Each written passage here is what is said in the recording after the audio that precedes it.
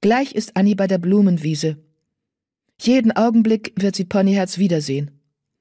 Suchend wandert ihr Blick durch das Unterholz. Vielleicht ist er ja schon da. Obwohl sie erst am Morgen mit ihm ausgeritten ist, kommt es ihr wie eine halbe Ewigkeit vor, dass sie ihr Pony umarmt hat. Ponyherz, ruft sie mit lockender Stimme. Wo bist du? Annie lauscht. Aber im Wald bleibt es still. Nur ein Specht macht fleißig seine Arbeit. Ponyherz? Und auf einmal geht alles ganz schnell. Plötzlich knacken Zweige und Äste und die Wildpferdherde schießt vor ihr durch den Wald. Annie bleibt wie erstarrt stehen. Fieberhaft versucht sie, die einzelnen Tiere zu erkennen. Ist Ponyherz unter ihnen? Fast im selben Augenblick hört Annie die Schüsse. Und der Himmel wird für Sekunden blutrot. Ponyherz! schreit Annie panisch auf.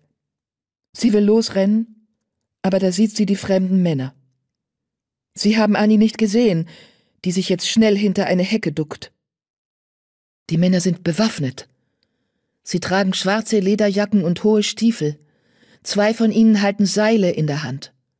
Mit bellenden Rufen treiben sie die verstörten Pferde vor sich her. Das Jungpferd! Schnapp dir das Jungpferd!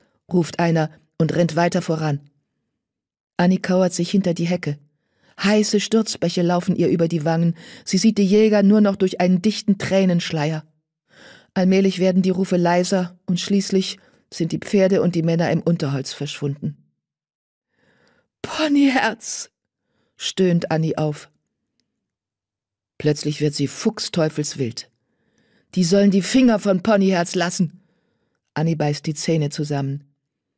Ich rette dich, mein Süßer, knurrt sie entschlossen.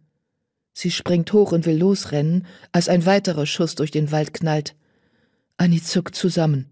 Ihre Turnschuhe verfangen sich in einer Wurzel und sie fällt vornüber auf das weiche Moos. Ich schaff es nicht, wimmert sie und weint voller Schmerz. Ich schaff es einfach nicht.